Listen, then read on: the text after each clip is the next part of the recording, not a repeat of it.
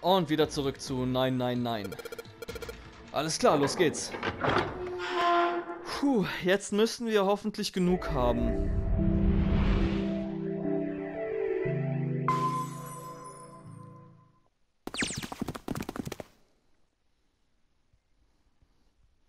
Wow, ich habe gerade eine Trophäe bekommen. Seek a way out again. Suche ein, suche ein weiteres Mal einen Weg nach draußen. Okay.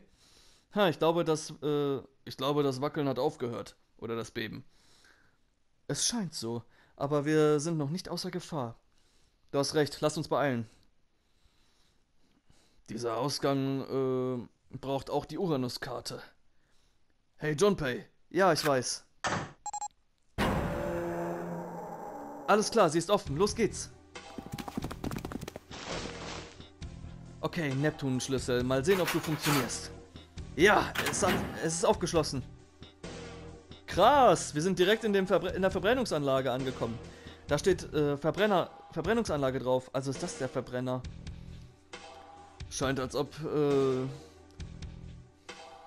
Ach so, das ist das erste Mal, dass ich ihn von dieser Seite sehe. Aber ja, ich glaube schon. Dann scheint dort ein Hebel in der Nähe der Tür zu sein. Ja, genau hier. Äh, zieh den Hebel und die Tür sollte sich öffnen. Alles klar.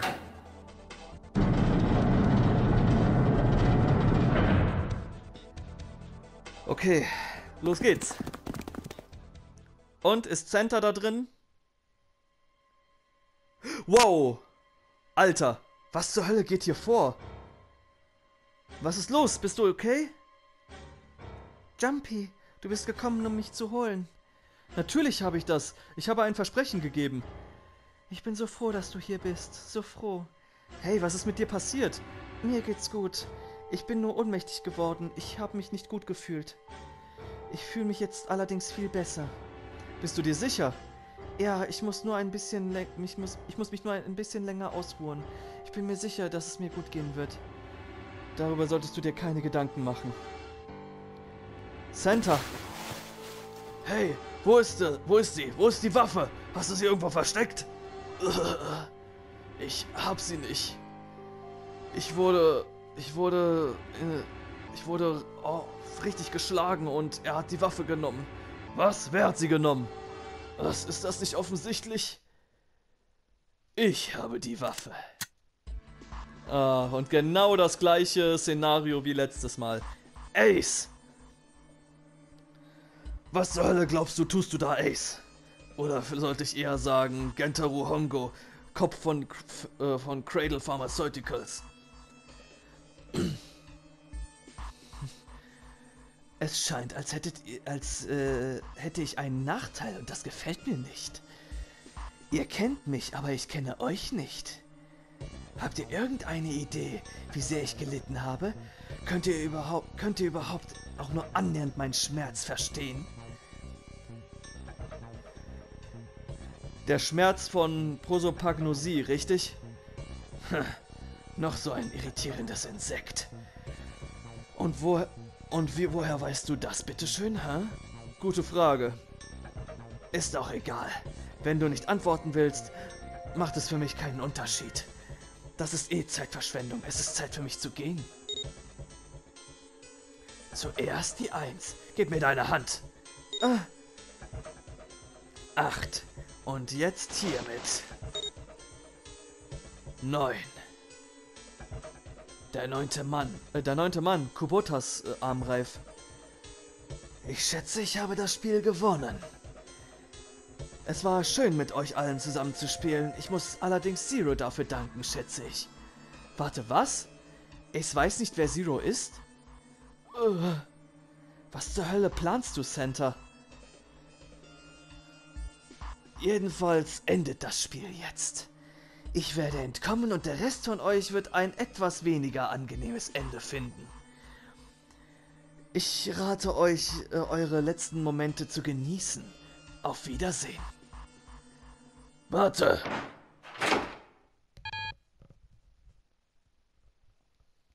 Warte, was? Warum öffnet sie sich nicht? Ugh, nochmal. Ah! Öffne dich!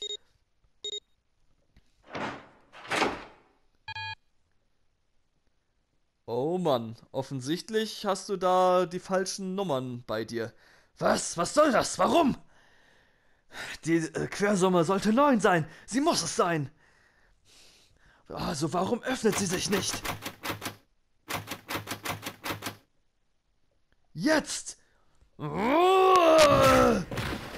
Nice, Seven! Oh. Oh. Ach, das war knapp. Viel zu knapp. Danke dir, Seven. Keine Ursache. Allerdings ist ein einziger Schlag nicht genug für dieses Stück Scheiße.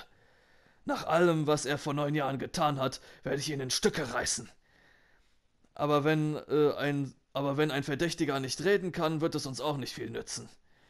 Sobald er in einer Zelle eingesperrt ist, werden wir einen kleinen, werden wir ein kleines Gespräch führen. Vor neun Jahren? Ah, dann musst du also. Ja, hast du es endlich herausgefunden? Du dumm. Du. Hast du es endlich herausgefunden? Dummer Arsch. Oh. Ace, du hast Kubota, Nijisaki und Musashido ermordet, oder nicht?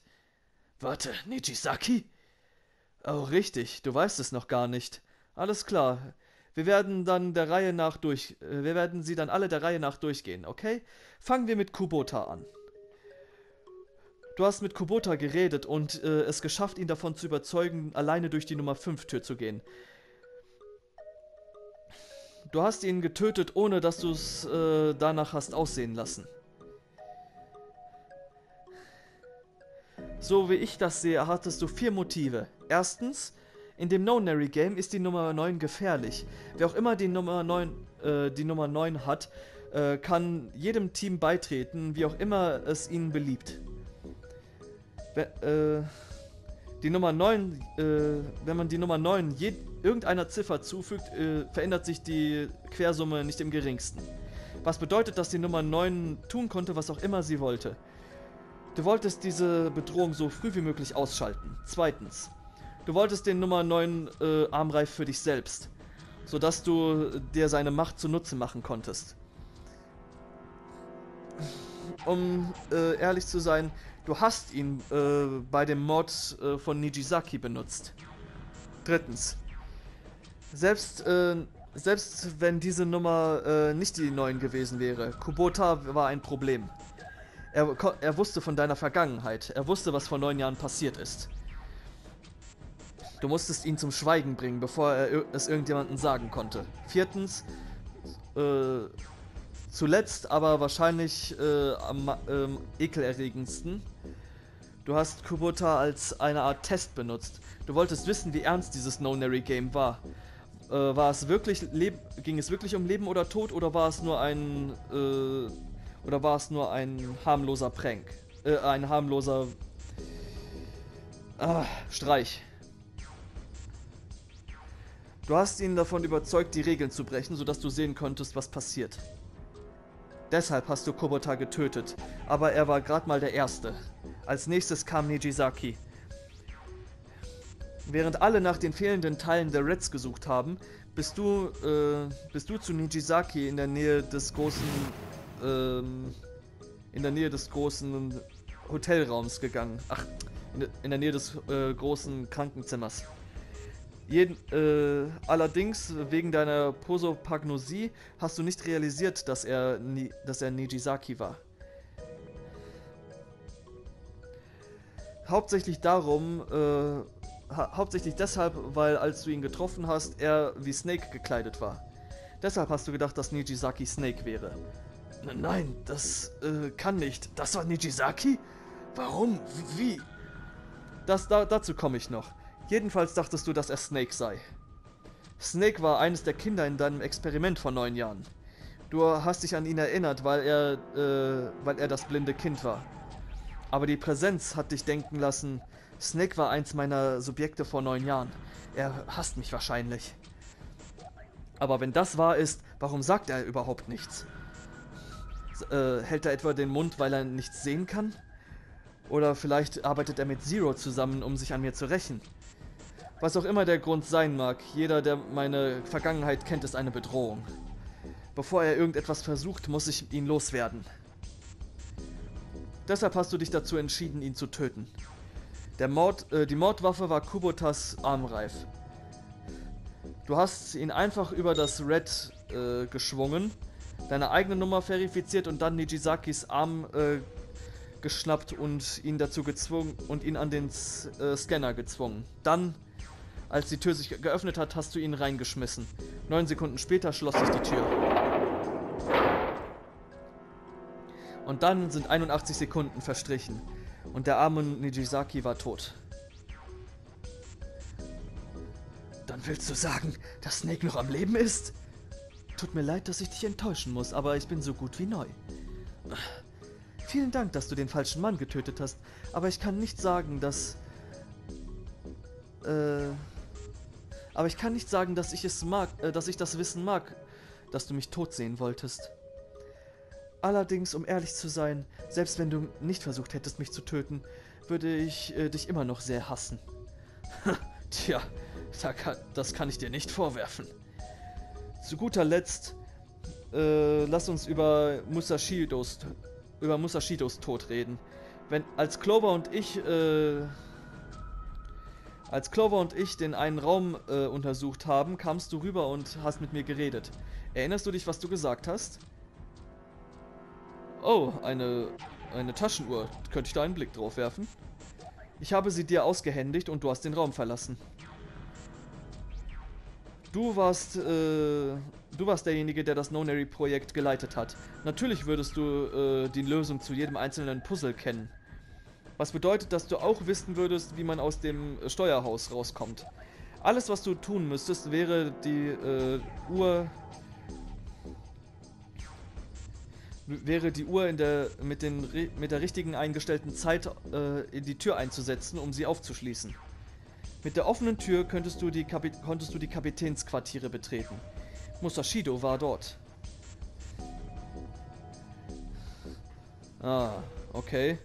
Und praktischerweise war direkt neben ihm eine Axt platziert, die dich quasi dar äh, darum angefleht hat, dass du ihn damit ermordest. Du hast diese Axt genommen und, äh, und die Klinge tief in die Brust des Mannes vergraben.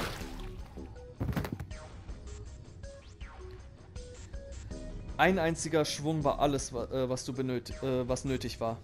Als du zu dem Raum zurück und anschließend bist du zu dem Kartenraum zurückgekehrt, als ob nichts passiert wäre. Da gab etwas, was ich, äh, worüber ich mit dir sprechen, äh, worüber ich mit Junpei sprechen wollte. Könntest du für einen Moment mitkommen? Ich hatte keinen Grund, Nein zu sagen, also bin ich dir zum Steuerhaus gefolgt. Als wir hineingegangen sind, äh, erinnerst du dich, wie du deine Hände in meine Weste gesteckt hast? Du hast ein Stück Papier äh, rausgezogen, eins, das ich äh, benutzt habe, um während der, während der Wahl zu äh, betrügen. Aber, das, aber danach hast du nicht wirklich gesucht. Der, der wahre Grund war, dass du äh, die Taschenuhr in meine... dass du die Taschenuhr wieder in meine äh, Tasche hast wandern lassen. Es war kein guter Plan. Okay, warte mal, was? Moment. Es war kein wirklich guter Plan.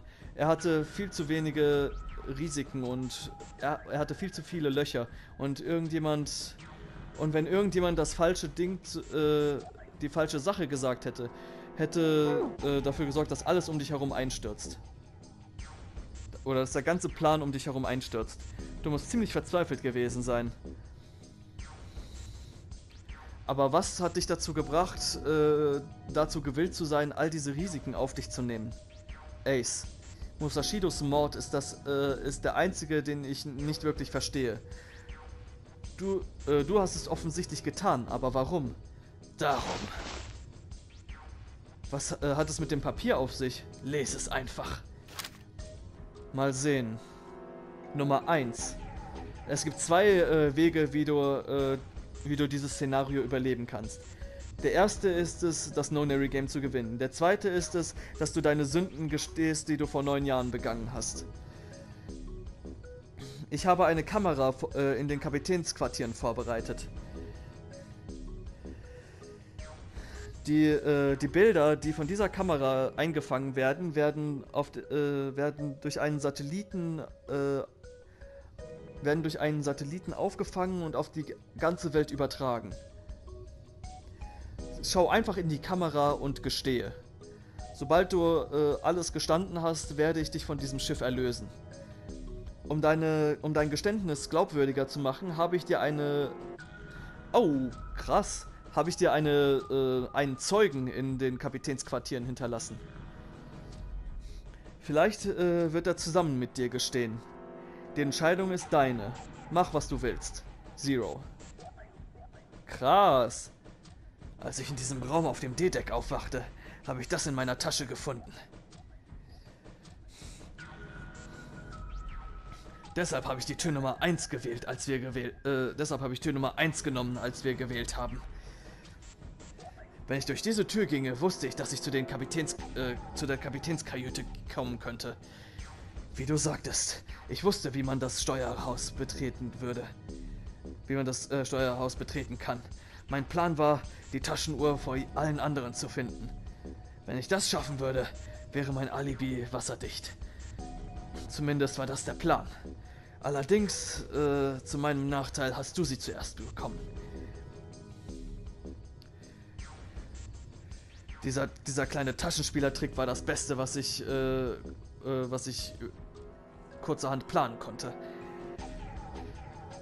Du hast ihn also von an, du hast also von Anfang an seinen Mord geplant, Musashido meine ich.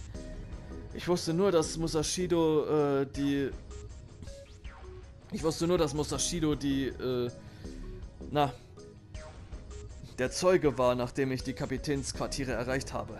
Ich habe ihn gefragt und er antwortete. Er schien ziemlich benebelt zu sein. Wahrscheinlich ist er gerade erst äh, von seinem äh, wahrscheinlich ist er gerade eben erst von der Narkose aufgewacht. Ich schätze, Nijisaki war äh, in ziemlich genau dem gleichen Zustand. Er schien verwirrt und desorientiert, als ich ihn konfrontiert habe. Und ja, du hast, du warst korrekt. Ich habe von Anfang, ich habe von Anfang an vorgehabt, ihn zu töten, obwohl ich nicht wusste, wer er war. Ich äh, habe ich hab mich zu den Kapitänsquartieren begeben, um äh, diese sogenannte, diesen sogenannten Zeugen auszulöschen. Ace, du hast es herausgefunden, nicht wahr? Du bist manipuliert worden. Ja, so scheint es wohl. Ich war etwas mehr, ich war nicht viel mehr als eine Puppe in, vielen, in vielerlei Hinsicht. Überall, wo ich hingehen, war alles bereits vorbereitet. Entschuldigt, kleiner Hustenanfall.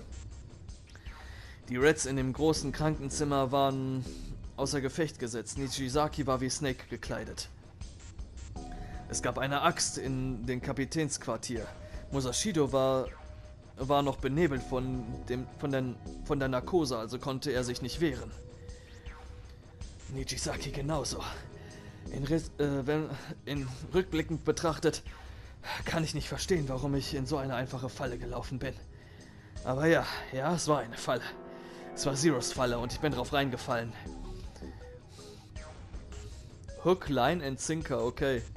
Schätze mal, das sagt man, wenn man auf eine Falle hineingefallen ist. Ich habe alles getan, was er von mir wollte. Ja. Indem er dich manipuliert hat, war Zero in der Lage, drei Leute zu töten und das Blut von seinen eigenen Händen fernzuhalten. Alles, all das äh, geschah nur aus Rache für das, was vor neun Jahren passiert ist. Darum ist dieses No-Nary-Game überhaupt passiert. Habe ich recht, Santa? Hä? Was zur Hölle redest du denn da? Ich weiß gar nicht. Es gibt, es gibt, hat keinen Sinn mehr, dumm zu, einen auf dumm zu machen, Santa. Um ehrlich zu sein, ich schätze, ich sollte dich wohl eher Aoi Kurashiki nennen, hä? Meine Erinnerungen sind wieder zu mir zurückgekehrt. Du bist Aoi Kurashiki, daran gibt's keinen Zweifel. Hätte nie gedacht, äh, dass ich wieder äh, in diesem, äh, zu diesem Raum zurückkehren würde und mit dir rede. Aber hey, ich schätze, das war alles Teil von deinem Plan, nicht wahr? Nach allem, was passiert, nach allem, die Person, die dieses No-Nary-Game, äh, die die ganze Zeit dieses No-Nary-Game geplant hat. Hm. Ach ja, Zero war nach, alle, war nach all der Zeit derjenige, der dieses Spiel äh, organisiert hat. Und Zero bist du. Hm. Sieht so aus, als hättest du tatsächlich deine Erinnerungen zurück, was? Tja, ich schätze, dann gibt es keinen Sinn mehr darin, es zu verstecken, hm? Ja, ihr habt mich erwischt. Ich bin Aoi Kurashiki. Ich war eins der Kinder in den Nonary Games vor neun Jahren. Ich hab's rausgeschafft. Snake darüber, Snake da drüben genauso.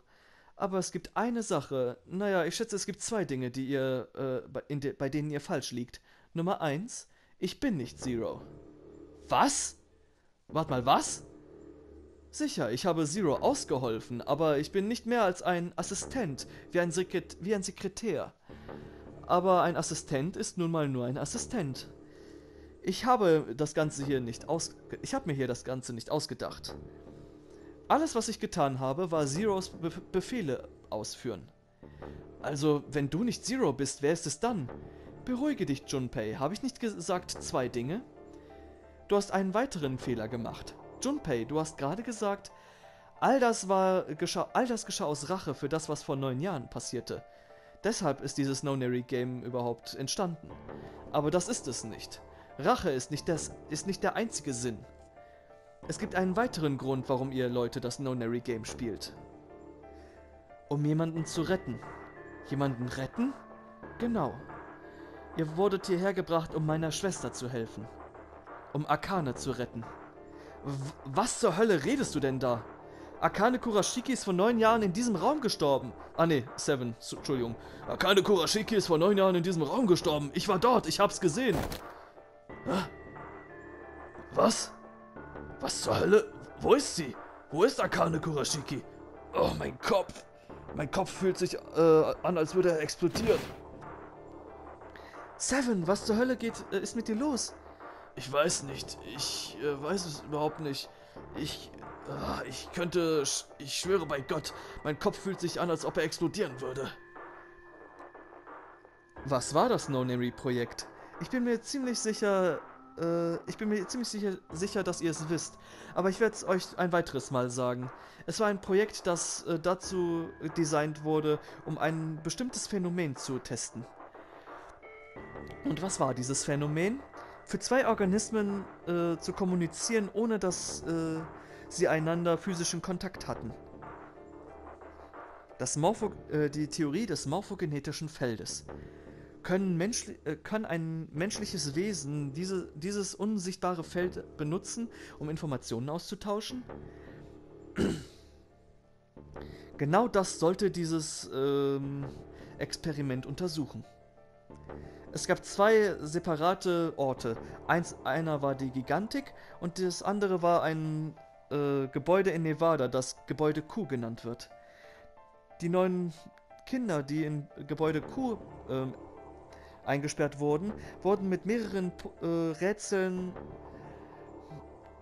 äh, wurden mit äh, mehreren Rätseln konfrontiert. Kopien, äh, ziemlich identische Kopien von den Rätseln auf der Gigantik.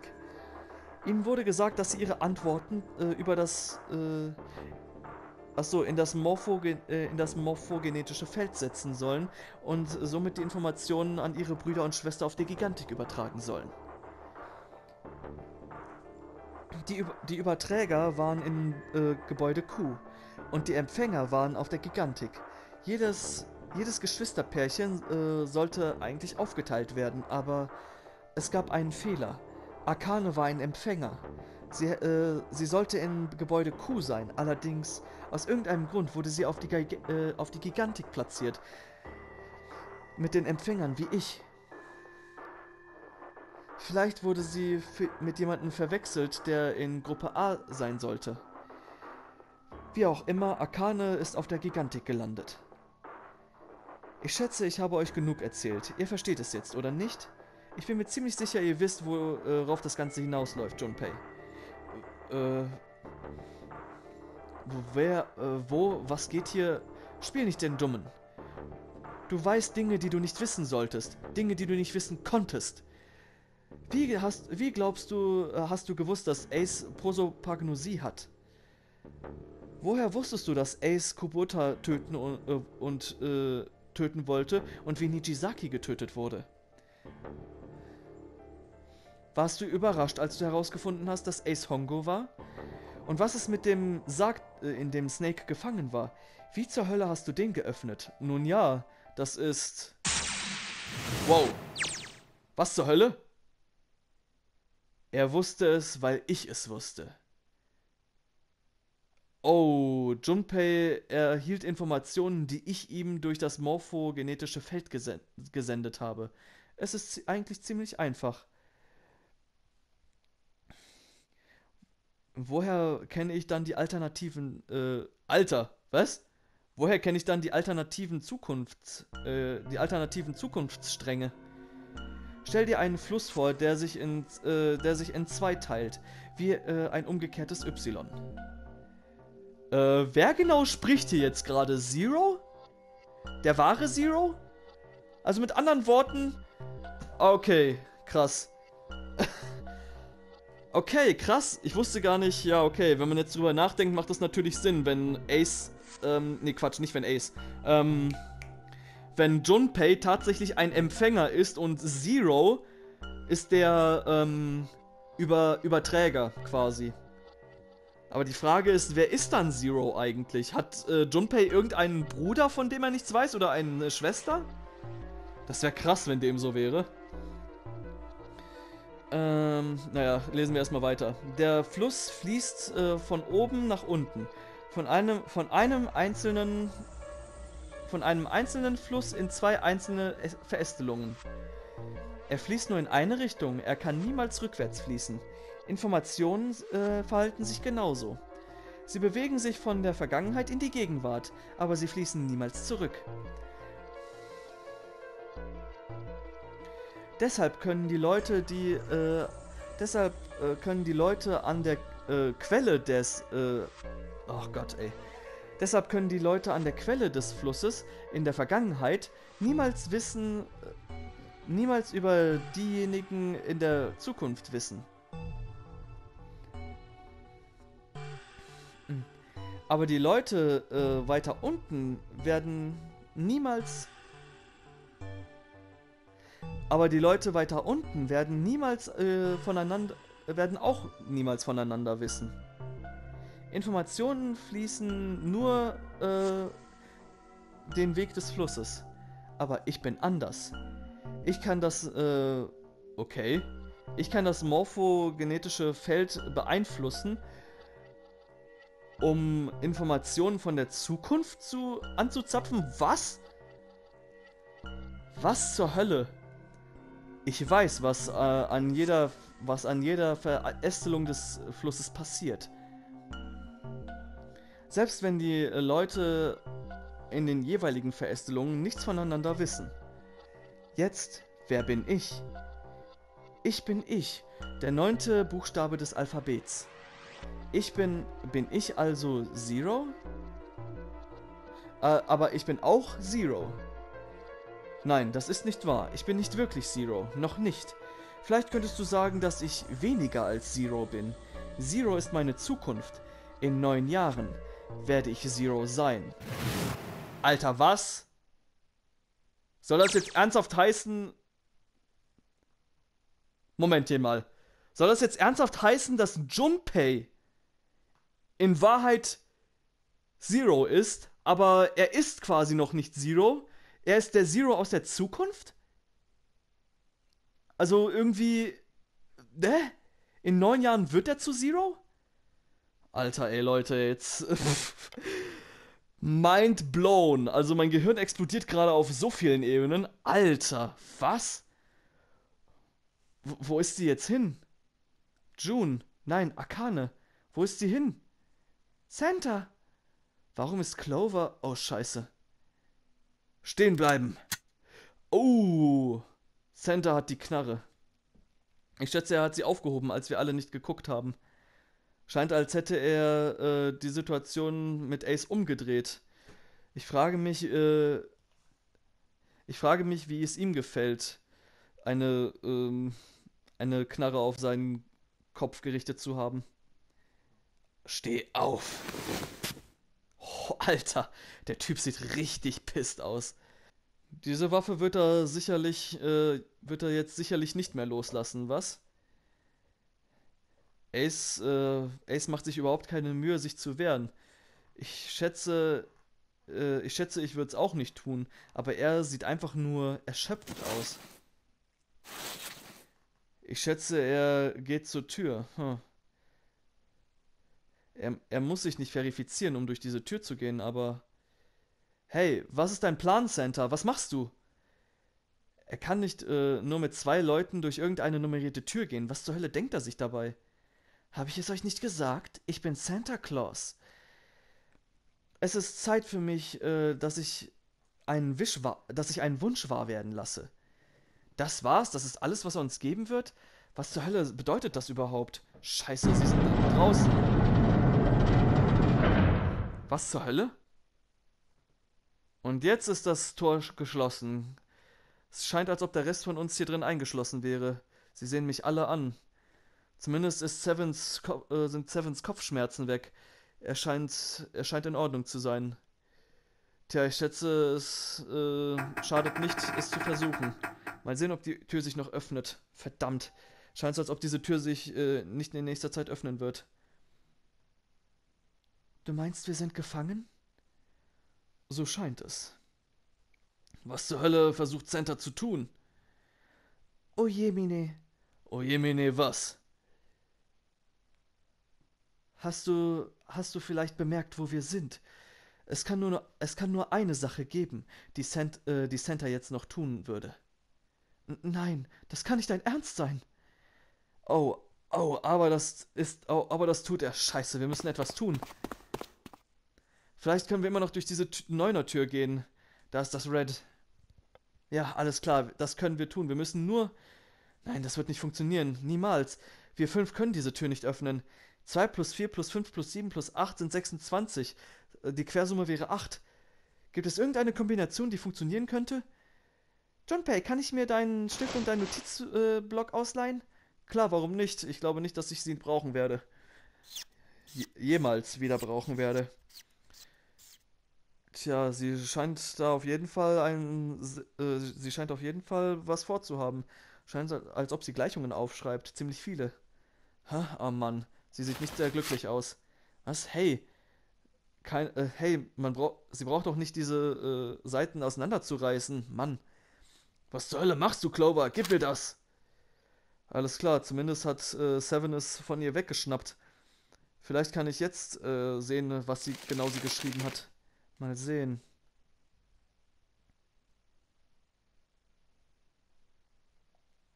Äh. Was? Dann gibt es keine. Dann gibt es keine andere Möglichkeit? Lotus. Scheint, als ob sie es auch rausgefunden hätte. Mann, das ist einfach zu grausam. Es ist in Ordnung. Geht. Lotus. Komm schon, wir, wir können dich das nicht tun lassen. Oh, jetzt kommt mir nicht so. Ich bin mir sicher, dass ihr es äh, lieben würdet, mich loszuwerden. Gottverdammt, du Idiot! Wow, wo zur Hölle kam das denn her? Scheint so, als ob sie äh, das genauso wenig erwartet hätte wie ich. Ohne, äh, wenn du nicht... Schau, schau mal. Es, äh, es wäre schon ziemlich schlimm, okay? Für einen Kopf für einen äh, Polizisten hat er nicht gerade viel Selbstvertrauen oder Überzeugungskraft. Schlecht? Äh, ja. Wenn es nicht solche Arschlöcher wie dich geben würde, dann hätte ich keine Arbeit. Hä? Schau mal, ich werde dich nicht zurücklassen, okay? Ende der Geschichte. Seven. Er hat recht, ich werde dich auch nicht zurücklassen. Ich auch nicht. Du hast doch nicht wirklich geglaubt, dass wir dich zurücklassen würden, oder? Äh, ihr seid alles Idioten. spiel, spiel nur, äh, spiel nur weiter die harte, Lotus. Wir können alle sehen, dass du kurz vorm Weinen bist. Jetzt, wo das aus dem Weg ist. Allerdings, allerdings, ich bezweifle, dass wir in der Lage, dass wir in der Lage sein werden, die Tür zu öffnen, selbst wenn wir Lotus äh, zurücklassen könnten. Hä? Warum?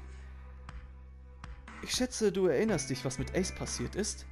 Ich konnte es, äh, ich konnte es nicht wirklich sehen, aber ich war in der Lage äh, zu erraten, dass... Ich war in der Lage zu erraten, was er vorher versucht hat bei dem Red. Ach ja. Nein, was ist das? Warum? Die Quersumme sollte 9 sein. Sie muss 9 sein. Warum öffnet sie sich nicht? Nur um äh, es zu überprüfen, warum versuchen wir es nicht? Versuchen? Ja, das habe ich gerade gesagt.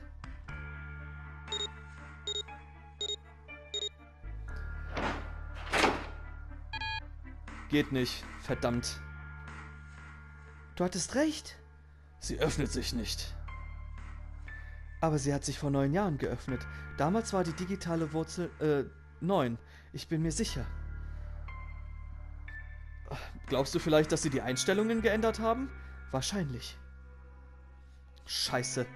Wenn wir nicht durch die Tür kommen, äh, kommen wir gar nicht hier raus. Die Wände sind alle viel zu hoch. Es gibt, äh, da, es gibt keinen Weg, wie wir hier rauskommen. Es gibt keinen Weg, dass wir durch das gleiche Loch äh, rauskommen, durch das Seven vor neun Jahren rausgeploppt ist. Alles, was wir tun können, ist hier äh, rumstehen und an, auf diese Tür mit einer 9 draufstarren. Ich schätze, das war's. Das ist das Ende.